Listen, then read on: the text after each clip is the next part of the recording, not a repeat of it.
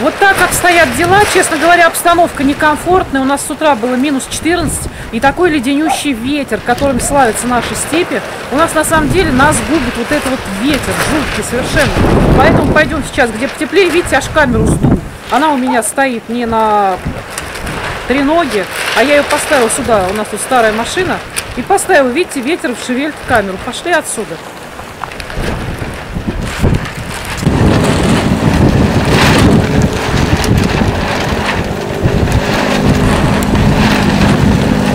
Маля.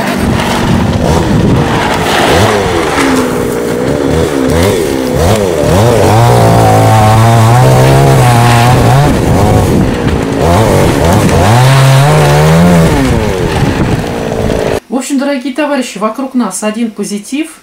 Дело движется к Новому году. На улице мороз. От этого позитива лопаются яйца. Дело в том, что я вчера прошляпила и забыла пойти в курятник забрать яйца. Яйца полопались. Но в этом тоже нужно искать позитивный момент. Они еще, кстати, толком не оттаяли. Ну, представьте, 14 градусов. У меня в предбаннике замерзла вода сегодня. Позитивный момент из всего этого можно извлечь такой, что когда яйцо полностью оттает, я засуну его, вытащу из скорлупы, засуну его в контейнер и уберу в морозильную камеру, но для того, чтобы когда зимой куры не будут нестись, я достану это яйцо и сварю какие-нибудь блины. Куры тоже сбились в клубок здесь, где немножко затишкой светит солнце. Они стоят в кучке. В общем, конечно, гораздо приятнее, когда на них не дует ветер. Еще один позитивный момент – это тот, что пошли в ход помидоры. Честно вам скажу, те помидоры, которые я солила на камеру на своем канале, оказались очень вкусными. И это, можно сказать, последние, последние, которые мы съедим сегодня, наверное, с картошкой. Раз у нас наступила зима, ну вы сами видели – кстати говоря, ну, мне нужно пойти раздеться. Я немножко оттаяла. Я уважаю труд дорожников, которые сейчас у нас кладут дорогу от Волгограда до нашего райцентра, во всяком случае, кусок дороги. Мы очень рано утром едем на базар в Волгоград, на рынок. И по темноте, представляете, они работают при свете фар ночью. Рабочие жгут костры, ну потому что, представьте, на открытом воздухе в нашей степи дуют совершенно жуткие ветра. У меня он там за окном на таком столбе висит приделан флюгер. И по, по его крутящемуся вентилятору я всегда определяю, какой же силы у нас ветер. Так вот, что я вам хочу сказать. Благодаря этому я стала почти как гидрометцентр. У нас ветра нет только ночью. Где-то с 7-8 часов начинает дуть. Так вот, я хочу сказать, что в таких условиях, конечно, работать очень тяжело. Я все время, когда мы едем на базар, я прям восхищаюсь этими людьми, интересно, какая у них зарплата. Они там насыпают такой огромный сейчас, хотел сказать сток, я же пришла с базы, такую огромную кучу, вот как на шахтах называются вот эти вот отвалы, забыла, как называются вот эти вот, ну такие вот огромные, ну, в общем, вот такие огромные конусы песка, стоят три экскаватора, представляете, они вот кажутся, как, как будто они игрушечные.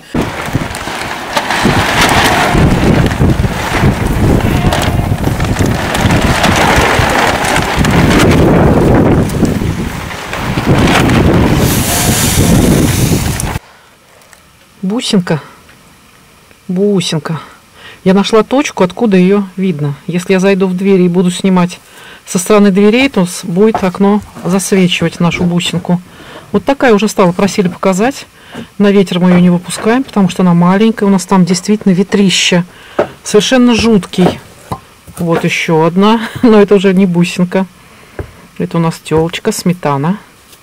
Да, сметана? Вот эти две кукушки, вот эта белая телочка у нас сразу вот с лета не пошла. Бывает такое. Вроде бы и трава, и молока у нее в волю. И не идет. Да, бусинка? Хорошая телочка. Не сильно она такая, конечно, жирная, но вполне она получает 6 литров молока каждый день, бывает даже 7.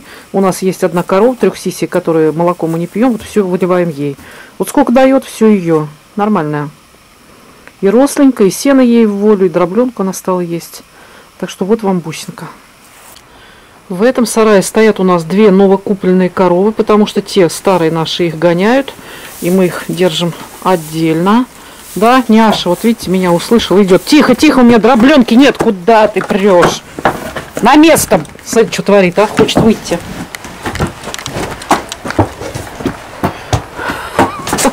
Нет, она куда? Она не выйти хочет, она думает, что ее доить пришли.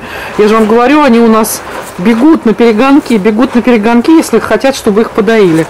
Ну, в смысле, они не хотят, они дробленку любят. Вот таким способом. Да, иди на место, сено ешь. Иди, иди, иди, иди. Старые коровы стоят у нас вот здесь. Там сено накидали. Как видите, пленку ветром ну, конечно, полощет, что там говорить. Она накрыта проволокой, там столбы привязаны по низу. Но, во всяком случае, на них не попадают осадки на наши стоги. Вот так у нас делают. Вот, пожалуйста. Лопают, едят. Сараи открыты, то есть они в любой момент могут уйти. Они, коровы не привязаны, могут уйти в затишку. А из последних новостей подходит ко мне сегодня муж и говорит – Сейчас по всем телевизионным каналам идет какой-то кипиш по поводу медсправок. Посмотри, говорит, в интернете. Пусть, пусть твой интернет принесет тебе какую-нибудь пользу. В общем, я залезла сегодня в интернет, и оказывается, из-за чего э, возмущаются люди. Дело в том, что при замене водительских прав, либо при получении новых прав, либо при потере водительских прав, нужно проходить медкомиссию. А так как сейчас ввели в этой медкомиссии анализ на содержание наркотиков и алкоголя в моче или там еще в чем-то, может быть в крови. Короче, если раньше водительская справка медицинская стоила 1500, что-то 70 с копейками, то сейчас она стоит 5000. Я так понимаю, что все это будет повышение цен с завтрашнего дня. И вот теперь э, водители выстраиваются в очередь, чтобы сегодня еще взять эту справку за полторы тысячи. И вот из-за этого по всем каналам сейчас идет большая буча. Я это обнаружила сегодня на сайтах в интернете про это пишут все, так что, дорогие товарищи, те, кто отправлял меня учиться на права, имейте в виду, что сейчас мне водительская справка обойдется в три раза дороже, подорожание там на 73%. Ну, в общем, можно сказать, что всех нас с этим можно поздравить. Подождем Нового года, а он не за горами. Доказательства этих я вам сейчас предоставлю. В магазине уже стали продавать подарки новогодние, так рано. 389, 359. Вот дядька какой-то, домовой, наверное. Судя по всему, у нас год мыши. Хоть на подарки посмотришь и поймешь. 369, мышка 700 грамм. Саратовская фабрика 205. Еще вот такие. Подарки? Да. Ну и ликерка. Это нам не надо. Конец ноября начали уже продавать все подарки, но после Нового года нас ждет очередное повышение. Как это бывает всегда, коммунальные платежи. Ну, в общем, какие там еще повышения? Бензин. Вчера солярка в Волгограде мы были, она стоит уже почти 50 рублей. Что-то 48 48 что-то с копейками. Самое интересное, что по трассе она стоит дешевле. Мы вчера заправлялись 92-м, а солярка стоила 45 с копейками. То есть в Волгограде на заправке она на 3 рубля почему-то дороже. Вот такие вот дела. Что касается нашего хозяйства, то коровы, естественно, сбавили молоко после того, как мы перестали их выпускать на улицу, чтобы они паслись. Молоко они сбавили, и поэтому сейчас у меня райцентр с продажами молочки, скорее всего, отпадет. Почему? Мне, конечно, выгоднее возить молоко в райцентр, но дело в том, что Волгоград, рынок Волгограда гораздо перспективнее. Хоть туда и надо ехать. В общем, приходится делать выбор. Вот я его сделала в пользу Волгограда. Хозяйство свое я вам показала, коз показать не могу, так как они в таких теплых шубах, они ушли гулять.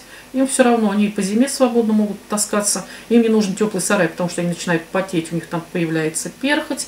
Вы сами видели, какая шуба у коз. И на этом, наверное, всем пока. Я так думаю, что нужно испечь или сварить что-нибудь вкусное и пойти, наконец, раздеться. Потому что на улицу я теперь пойду, скорее всего, только вечером. С хозяйством управляется мой муж. У него для того, чтобы не продувал вечер, он придумал себе такую накидку из шкур.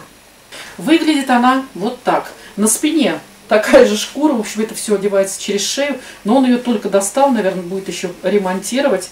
Дело в том, что вот это одевается под куртку, куртка вот здесь вот так притягивается ремнем, это не продувается, и она очень легкая на самом деле. Но только он одевает ее мехом внутрь. Я надела вам мехом наружу, здесь у нас замша, обычная замша. Вот такая вещь, ну как бы самодельная, ну и что? Длинная, чтобы закрывала достаточно далеко. И, в общем, в этой накидке она не мешает движению рук. То есть здесь можно свободно работать чем хочешь, вилами. Иногда я ее одеваю, когда по зиме холодно, и я иду доить коров. Ну, то есть, понимаете, как она гораздо легче, чем если на тебе такой какой-то вот пуховик. На самом деле она хоть и выглядит, ну, как бы так, может быть, не сильно презентабельно, презентабельно, товарищ, но это натуральная шкура. Почти цельная. Вот здесь вот платка пришита. Вот так мы выходим из положения, а что делать? С нашими ветрами по-другому не получается. И на этом всем пока. Я, конечно, понимаю, что у меня сегодня довольно страшный вид. Такие вот реалии жизни в деревне, что делать? Приходится с ним бороться как-то.